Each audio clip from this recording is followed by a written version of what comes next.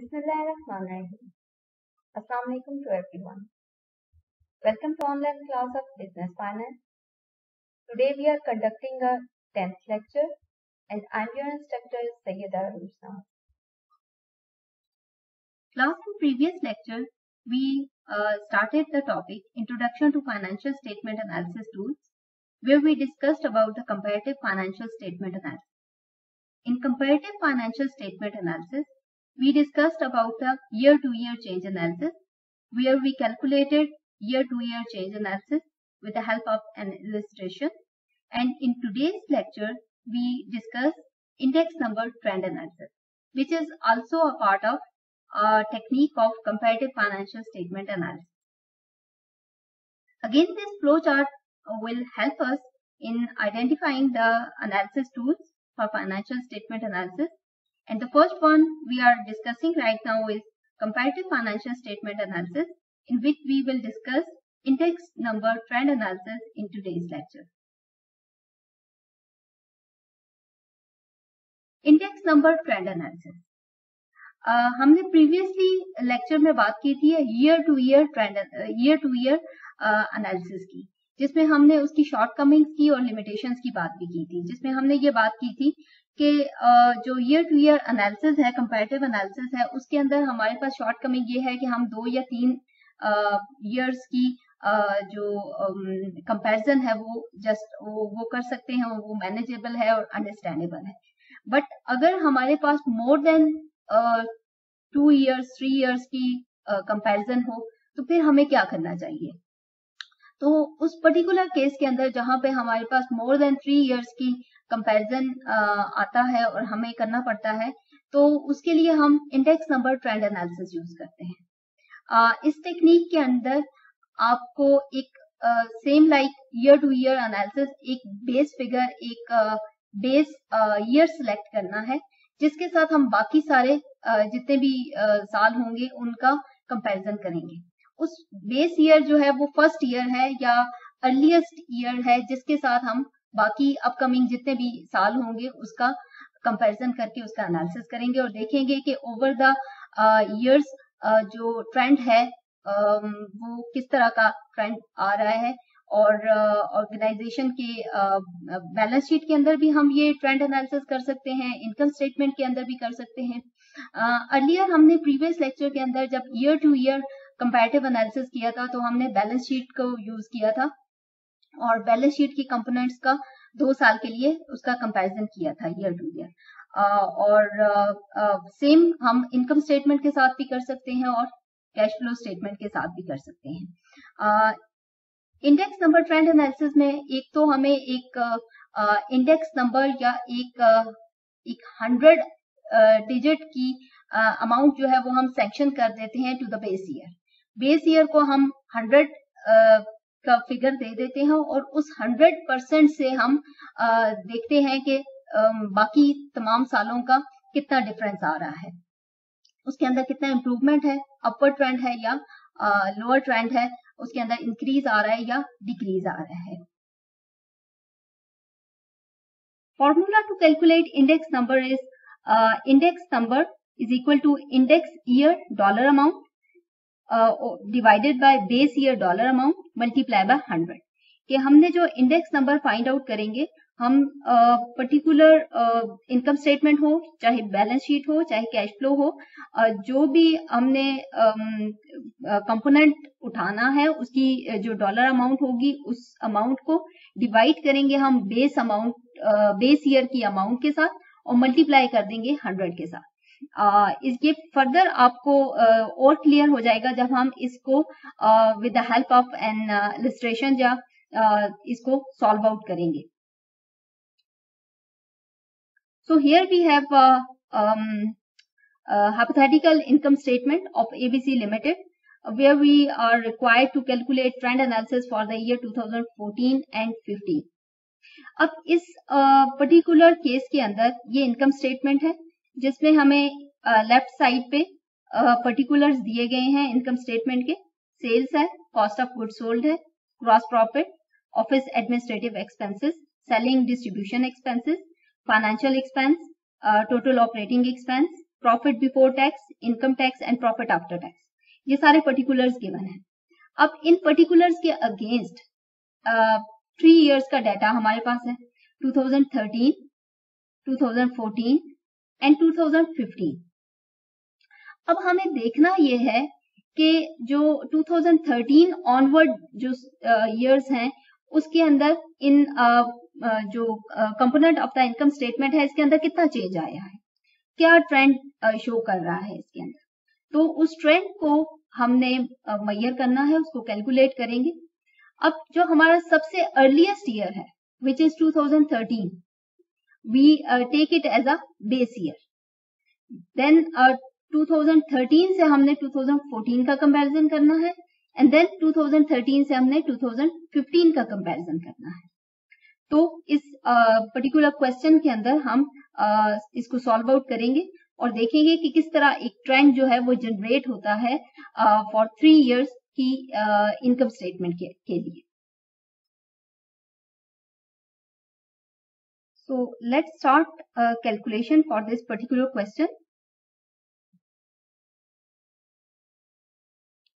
हमने इसका फॉर्मूला ये देखा था। इंडेक्स नंबर को कैलकुलेट करने के लिए index year dollar amount divided by base year dollar amount multiply by hundred तो सेम फॉर्मूला को अप्लाई करते हुए हम इसकी कैलकुलेशंस करेंगे। अब हमारे पास जो बेस ईयर है which is two thousand thirteen and the rest of the years we have to compare it with the 2013 अब हमने ये बात की थी कि हमने एक वैल्यू uh, जो है वो बेस ईयर को एक वैल्यू जो है वो दे देनी है। उस वैल्यू के अगेंस्ट हमने उसका परसेंटेज चेंज जो है वो देखना है। लेट से और ये वैल्यू जो है ये हंड्रेड है जो कि हम एलोकेट कर देंगे 2013 को।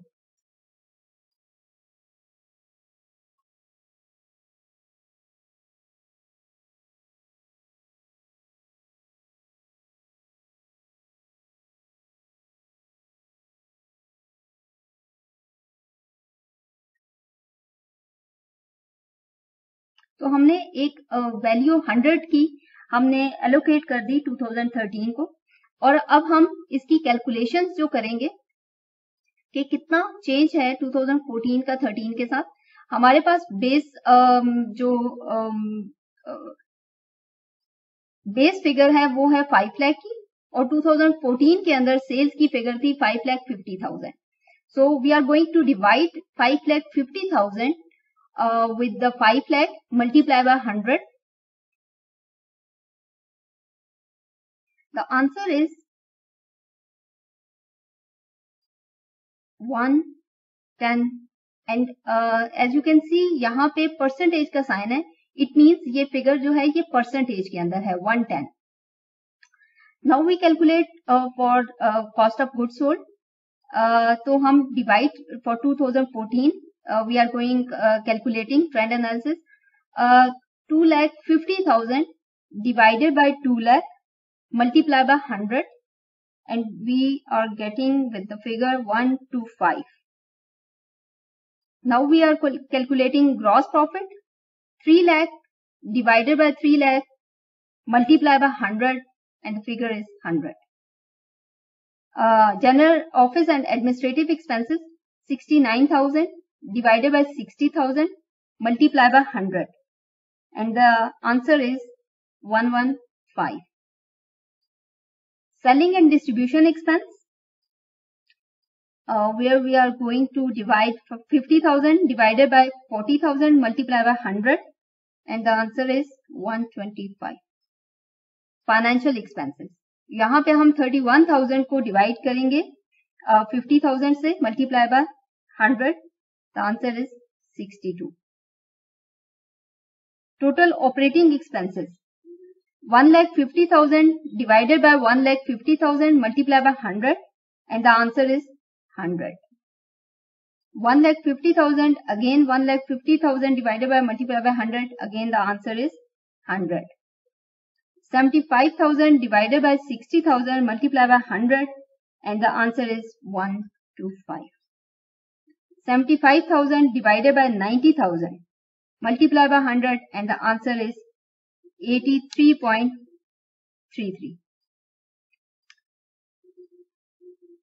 Now we are calculating for 2015. Trend analysis percentage of 2015. Here we are going to divide 6 lakh 50,000 which is the sales amount of uh, uh, 2015 6 lakh 50,000 divided by the base year which is 5 lakh. 6 lakh 50,000 divided by 5 lakh multiplied by 100 and the answer is 130 2 lakh 90,000 divided by 2 lakh multiplied by 100 answer is 145 3 lakh 60,000 divided by 3 lakh multiplied by 100 answer is 120 75,000 divided by 60,000 multiplied by 100 and the answer is 125. 60,000 divided by 40,000 multiplied by 100 answer is 150 and 45,000 divided by 50,000 multiplied by 100 uh, answer is 90 and 1 lakh 80,000 divided by 1 lakh 50,000 multiplied by 100. Answer is 120. Again, the answer is 120 because the figures are same. Uh, 72,000 divided by 60,000 multiplied by 100. Answer is 120. And finally, uh, 1 lakh 8,000 uh, divided by 90,000 multiplied by 100 and the answer is 120. Completing this uh, in this particular uh, trend analysis में हम ये देख सकते हैं that 2013 से कितना change आया 2014 के अंदर और 2015 के अंदर। Uh, इसमें देखें तो uh, uh, 2013 में अगर हम सबसे पहले तो हमने एक बेस ईयर सेट करना है। उस बेस uh, ईयर को हमने एक इंडेक्स नंबर 100 एलोकेट किया। और उस 100 से हमने उसकी कैलकुलेशन परसेंटेजेस निकाली फॉर 2014 और देन 15 तो हम ये देख रहे हैं कि हमारे पास 2014 की जो फिगर है वो 110 है। लाइक like 2000 अगर 2013 में कोई सेल्स जो थी वो 100 के ऊपर थी तो 14 में वो 110 के ऊपर और 15 में वो 130 के ऊपर चली गई। और कॉस्ट ऑफ़ गुड जो है वो 100 टू 125 और 145 देन ग्रॉस प्रॉफिट 100 से 2014 के अंदर उसके अंदर कोई चेंज नहीं आया देन 2015 के अंदर 120 पे। ऑफ़िस एडमिनिस्ट्रेटिव एक्सपेंसेस जो थे वो बढ़ के 100 से 115 हो गए और फिर 125 हो गए। सेलिंग एडमिनिस्ट्रेटिव एक्सपेंसेस जो थे वो 100 से 125 हो गए बढ़ गए और uh, uh, 2015 में वो 150 तक पहुँच गए। फाइनेंशियल एक्सपेंसेस जो है वो हंड्रेड uh, से 2014 के अंदर वो कम हुए 62 पे आए और 15 के अंदर uh, 62 की रिलेटिवली वो ज़्यादा है लेकिन 2013 की नस्बत वो 90 पे आ गए वो कम होंगे। टोटल ऑपरेटिंग एक्सपेंसेस जो थे वो uh, 2013 के कंपैरिजन में 2014 के अंदर नो चेंज बट इन 2015 जो है उसके अंदर 120 पे चले गए मींस के 20 परसेंट का और उसके अंदर वाइज आ गया। एक्सपेंसेस uh, जो है वो इंक्रीज कर गए। Total operating expenses then comes profit before tax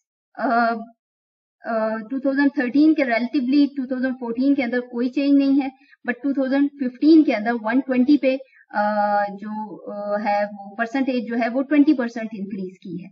income tax जो है वो 2013 में uh, विद रिलेटिव टू 2013 हम ये देख रहे हैं 2014 में 125 25 परसेंट वाइज और 2015 में 120 और profit after tax with relative to base year of 2013 uh, 2014 में वो uh, कम हुआ है विद रिस्पेक्ट टू 2013 और 2015 में वो इंक्रीज uh, कर गया है विद रिस्पेक्ट टू 2013 इसको हम इन फिगर्स को हम इस तरह भी मेंशन कर सकते हैं अपने फर्दर अंडरस्टैंडिंग के लिए दैट uh, ये जो डॉलर uh, अमाउंट्स थी with respect to 2013 which is our base year 2014 के अंदर सेल्स में 10 परसेंट इंक्रीज 2015 में 30 percent increase like same figures को 10 110 और 130 का.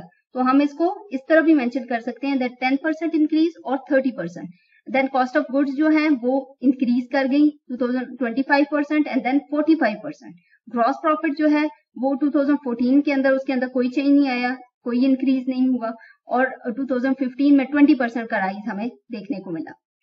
ऑफ़िस एंड एडमिनिस्ट्रेटिव एक्सपेंसेस जो थे, वो उसके अंदर 2014 के अंदर 15 परसेंट इंक्रीज और 2015 में 50 परसेंट का 15 से 25 परसेंट इंक्रीज देखने में आया सेलिंग डिस्ट्रीब्यूटिंग डिस्ट्रीब्यूशन एक्सपेंसेस जो है, वो 25 परसेंट का राइज आया 2014 के अंदर एंड देन 50 परसेंट का राइज आया।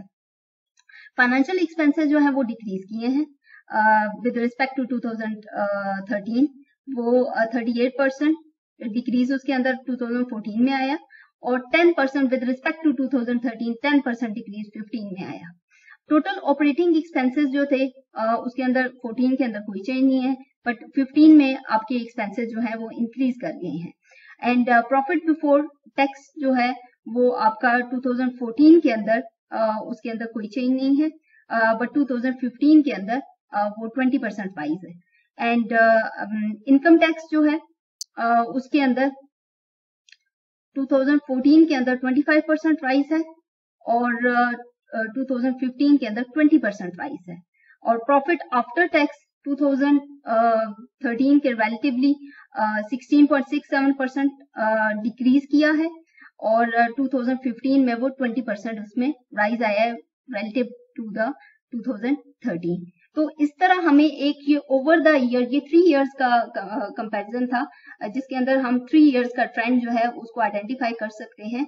इसलिए आप more than three years four five six seven years तक का आप जो फाइनेंशियल एनालिसिस है, वो आप कर सकते हैं फाइनेंशियल स्टेटमेंट्स के अंदर। जिन भी कंपोनेंट्स का आप एनालिसिस करना चाहें तो आप इस तरह इस एक बेस फिगर को बेस ईयर को सिलेक्ट करके उसको आपने 100 इंडेक्स पे सेट करना है और उसके बेस ईयर से रिलेटिवली फिर आपने हर साल को कंप्यूट करना है उस बेस ईयर के साथ और आपको इस तरह परसेंटेज के अंदर इंक्रीज और डिक्रीज जो है वो ओवर द ईयर्स नज़र आएगा और एक ट्रेंड शो होगा कि कैसे आ, किन किन कंपोनेंट्स के अंदर इंक्रीज आ रहा है और कहाँ पे डिक्रीज आ रहा है।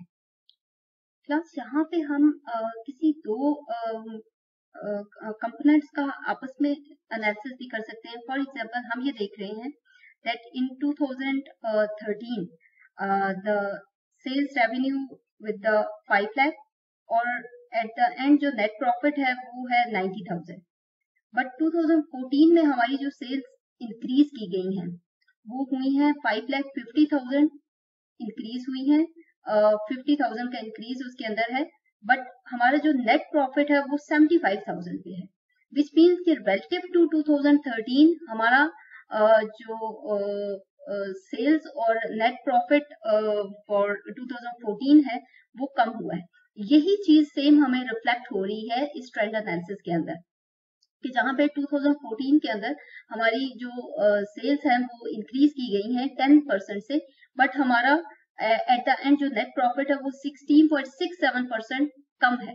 अब यहाँ पे हमें ये हमें सिर्फ़ जस्ट ये इंफॉर्मेशन मिल रही है कि फाइव लैख फिफ्टी थाउज़ेंड की सेल्स थी और प्रॉफिट आफ्टर टैक्स जो था वो सेवेंटी फाइव थाउज़ेंड था but two thousand relative to two thousand thirteen या बेस ईयर से कितने परसेंट वो कम था वो हमें इस ट्रेंड एनालिसिस के थ्रू शो हो रहा है दैट 16.67 परसेंट रिलेटिव टू 2013 वो नेट uh, प्रॉफिट या नेट इनकम जो थी वो कम हुई है और ऑल दो सेल्स इंक्रीज की हैं but net income it means के कहीं सेक्टर में यहाँ पे हमारे एक्सपेंसेस जो है वो इंक्रीज किए हुए हैं।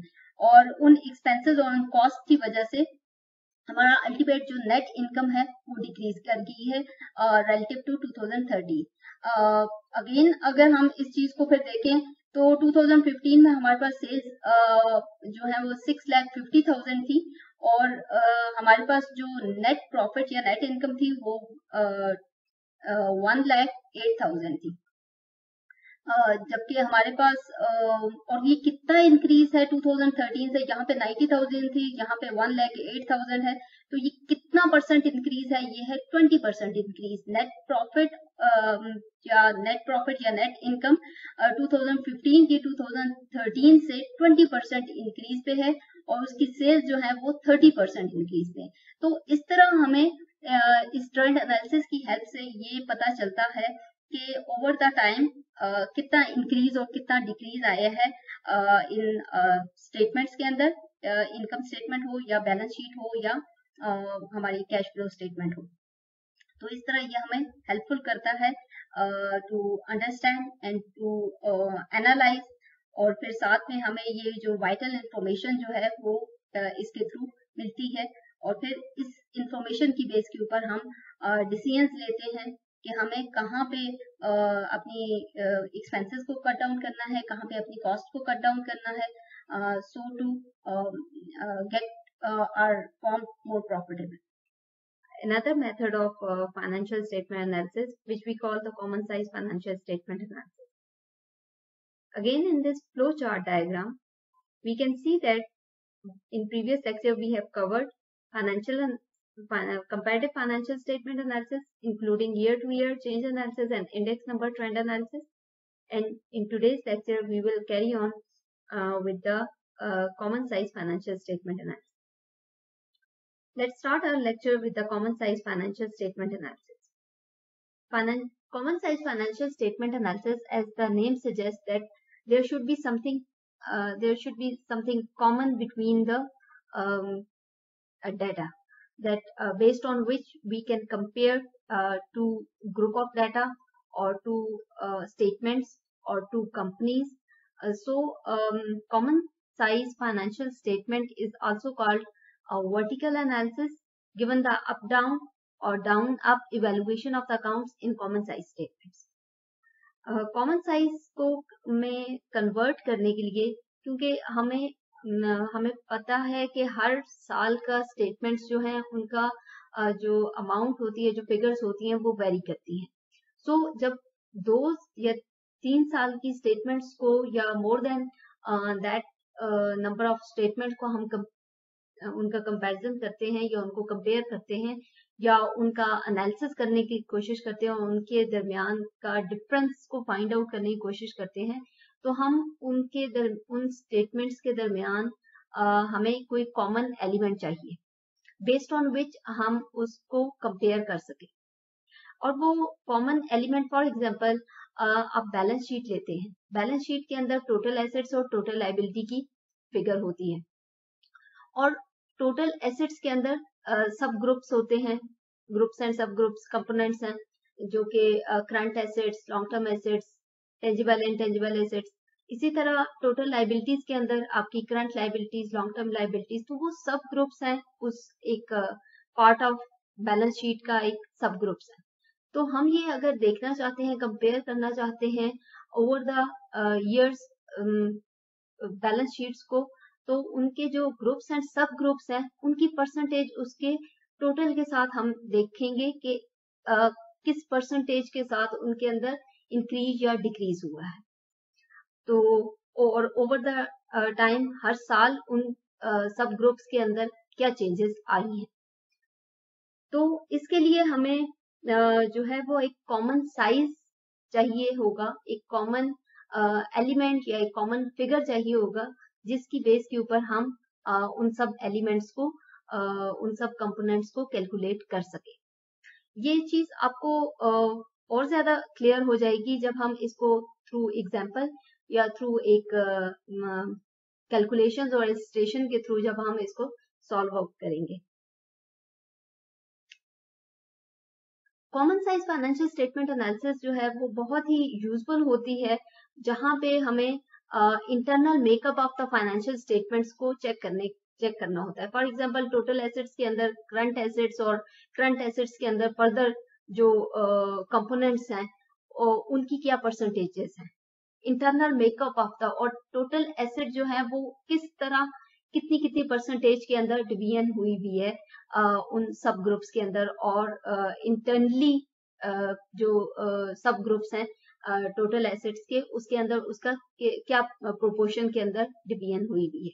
तो उसको जब हमने एनालाइज करना होता है तो हम common size financial statement analysis को यूज़ करते हैं और ये बहुत ही यूजफुल टेक्निक है। For example sources of finances जो कि लाइबिलिटीज होती हैं टोटल लाइबिलिटीज तो उनको हमने जब देखना होता है, उनको एनालाइज करना होता है through common size financial statement analysis तो हम ये देखते हैं कि उनके अंदर करंट लाइबिलिटीज हैं नॉन करंट या लॉन्ग टर्म लाइबिलिटीज हैं और इक्विटी का पोर्शन है तो उनकी क्या परसेंटेजेस हैं? To that of that total liability और कंपोजिशन ऑफ़ एसेट्स जो टोटल एसेट्स हैं उसके अंदर करंट एसेट्स और नॉन करंट एसेट्स की क्या प्रोपोर्शन के अंदर किस प्रोपोर्शन के अंदर वो एग्जिस्ट uh, करता है। तो इसको हम internal makeup of the financial statements कहते हैं कि किस किस प्रोपोर्शन के अंदर कौन कौन से एलिमेंट्स जो हैं वो एग्जिस्ट कर रहे हैं। कॉमन साइज़ फाइनेंशियल स्टेटमेंट जो है वो यूजफुल uh, है। जब हाँ, आप दो या दो से ज़्यादा कंपनीज़ का कंपैरिजन करते हैं।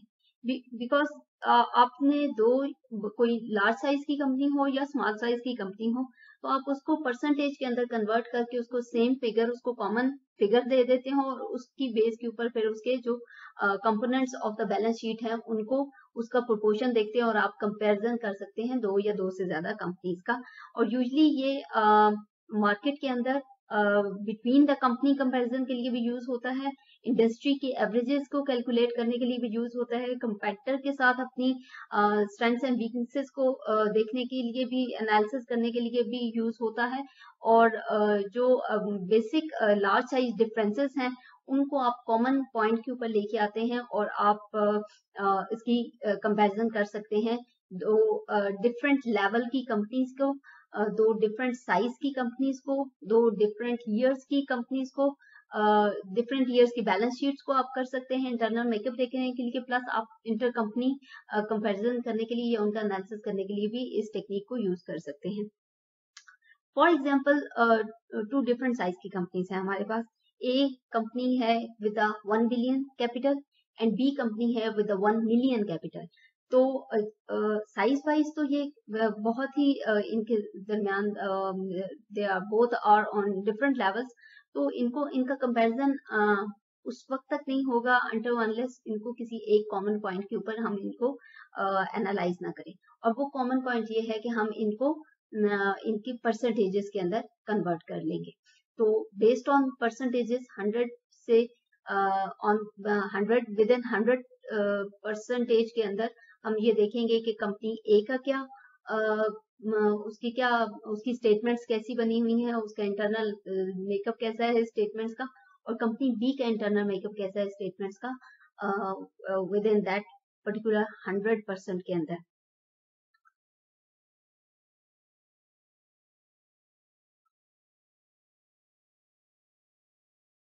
स्टूडेंट्स यहाँ पे हमारे पास एक बैलेंस शीट है, जो कि उसमें 2019 का डिटेल गिवन है और 2020 की डिटेल गिवन है।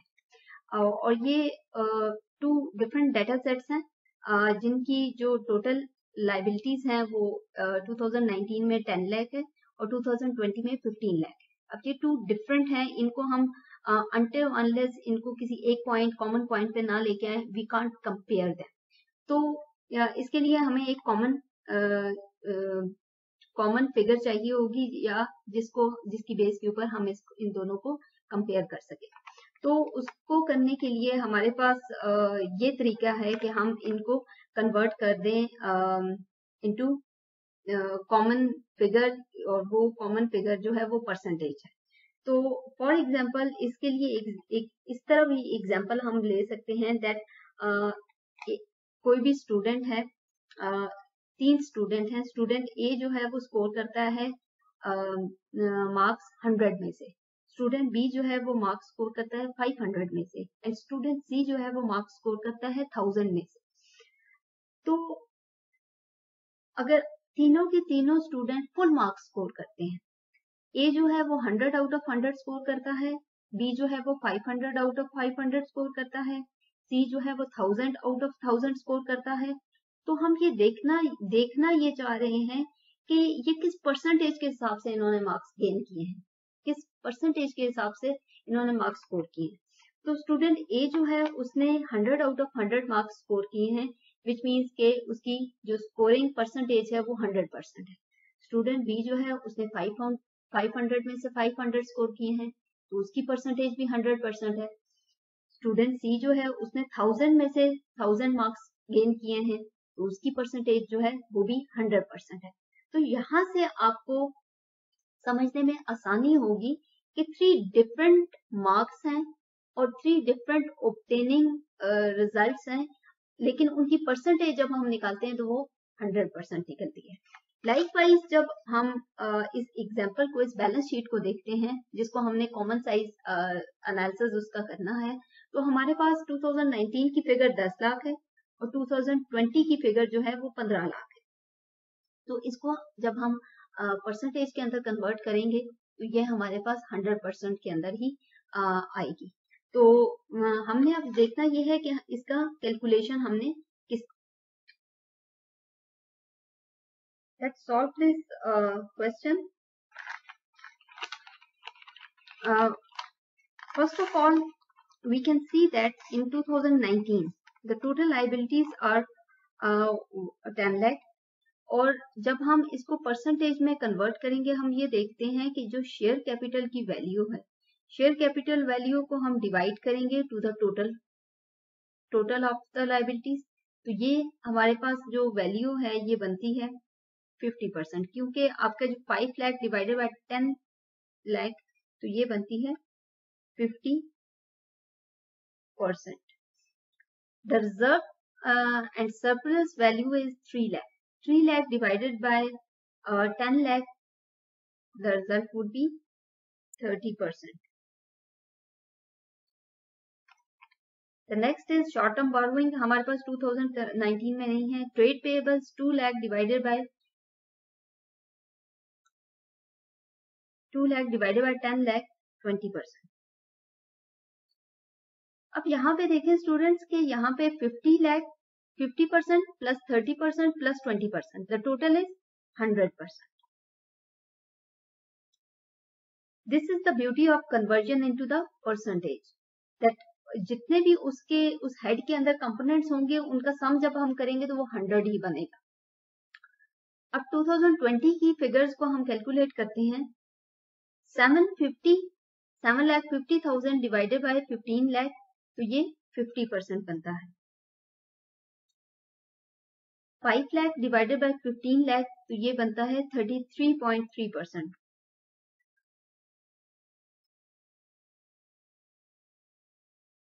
one lakh divided by 15 lakh comes to 6.7 percent. 1 lakh 50,000 divided by 15 lakh तो ये अमाउंट है टेन परसेंट और जब हम इनका टोटल करेंगे the result would be hundred percent now calculate the same for assets percentage of 2019 thousand nineteen five lakh divided by ten lakh the answer would be fifty percent one lakh divided by ten lakh the answer would be ten percent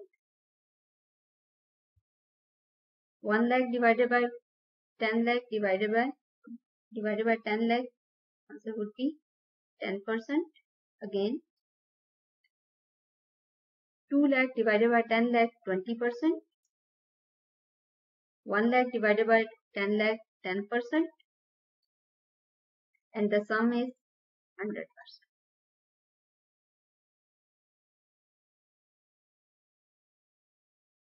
the same we will calculate for 2020 9 lakh divided by 15 lakh answer is 60 percent. 3 lakh divided by 15 lakh answer is 20 percent. 1 lakh divided by 15 lakh answer is 6.7 percent. And this figure is missing. 2 lakh divided by 15 lakh and answer is 13.3 percent and when we sum up all these percentages the answer is 100 percent. As you can see that at the end the sum of all the percentages, sum of the all subgroups uh, percentages uh, came to uh, equal to 100 percent. So uh, we can conclude from this common size uh, analysis that share capital is same in 2019 and 20. Uh, reserves and surplus 30% in 2019 and 33.3% in 2020, which means that reserve has increased 3.3% uh, from 2019 to 20. Then short-term borrowings um, increased from 6.7% and trade payables decreased to 10%, which means that uh, during uh, this one year, um, the company has uh, started borrowing short term uh, and uh, it raised to 6.7%. Although the trade payables decreased 10%, but borrowings increased 6.7%. On asset side, we can see that uh, the fixed assets has been increased 10% over the year. Uh, उनके उनका uh, उन, उनका increase हुआ है fix assets का और साथ ही हम देखें तो साथ ही हम देखें तो जो लॉन्ग टर्म इन्वेस्टमेंट है उसके अंदर भी टेन परसेंट का इंक्रीज आ रहा है और जो इन्वेंट्रीज हैं उसके अंदर six point ten percent nineteen में थी 2020 में 6.7 परसेंट हो गई विच मीन्स के 3.3 परसेंट का डिक्रीज है इसके अंदर। और यहाँ पे जब आपके फिक्स एसेट्स इंक्रीज हो रहे हैं, आपके लॉन्ग टर्म इन्वेस्टमेंट्स के अंदर इंक्रीज आ रहा है तो इट मीन्स के आपकी इन्वेंट्री के अंदर भी इंक्रीज आना चाहिए। और जो डिसीज़न पावर है, उनको इस पॉइंट के ऊपर they should look into the matter कि आपकी इन्वेंट्रीज जो है वो क्यों कम हो रही हैं, और इन, इसके ऊपर आपको फोकस करना चाहिए, ये ना हो कि आपको शॉर्ट ऑफ़ शॉर्टेज का सामना करना पड़े और आपका प्रोजेक्ट जो है वो सफ़र करे। Then comes cash and cash equivalent इनके अंदर भी इंक्रीज आया है 3.3 परसेंट का। तो overall we can say that trade payable decrease by ten percent as trade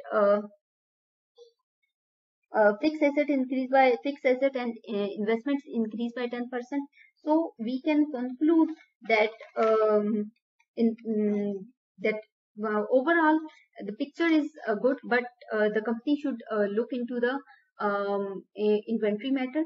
कि जहाँ पे अगर आपकी दो लाख की सेल्स हो रही हैं और ट्वेंटी थाउज़ेंड की आपकी इन्वेंट्री है तो जहाँ पे आपकी सेल्स जो है वो बढ़ के चार लाख हो गई हैं तो आपकी इन्वेंट्री भी इंक्रीज करनी चाहिए। Otherwise you will face the problem of shortage और फिर आपके प्रोजेक्ट जो है वो सफ़र हो सकता है। सो so, इस पर्टिकुलर एनालिसिस टेक्निक की uh, की हेल्प से हम टू डिफरेंट साइज़ के फिगर्स को टू डिफरेंट साइज़ की कंपनीज़ को टू डिफरेंट स्टेटमेंट्स के हेड्स को हम उनको कंपेयर कर सकते हैं। हम देख सकते हैं by converting it into the percentage और by converting it into the common figure और जिसकी बेस के ऊपर हम फिर उसके ग्रुप्स और internal makeup of the statement को चेक कर सकते हैं। You get the the concept of the common size balance sheet analysis common size balance sheet analysis even it the same would be you can be use for income statement और the cash flow statement analysis so uh, regarding this uh, lecture any questions and queries are most welcome. Uh, thanks for joining Allah Hafiz.